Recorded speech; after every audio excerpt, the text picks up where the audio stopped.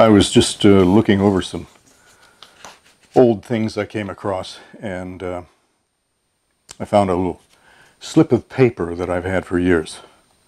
I never threw it away. Girl gave me her phone number. And hey, why wouldn't a, an old over the hill guy want to remember a girl giving him her phone number?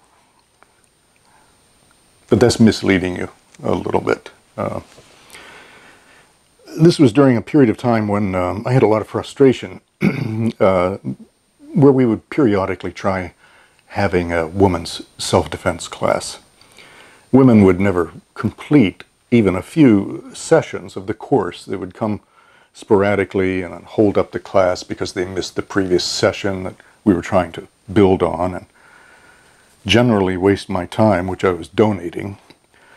All the times I offered free training sponsored by the local Rape and Domestic Violence Center, there were never the same people in the class from night to night.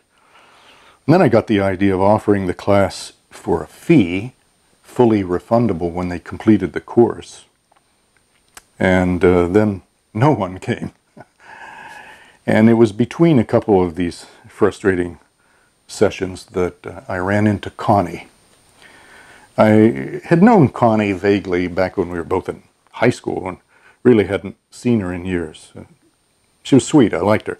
She came up to me and we exchanged pleasantries and and then she said, "Do you still teach self-defense?"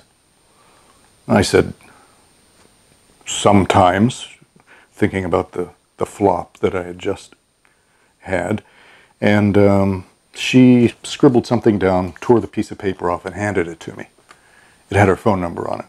She said, Call me when you start another class. I really need to learn self defense. And the last thing she said, kind of ominously, was uh, There's a guy I need to get away from. Well, I never had that class, and I didn't call the phone number. Sometime later, her body was thrown out of a car into the middle of the street, right in front of a building where I had a, an apartment. And because I still had friends in the police department in those days, I got a little more information than other people did.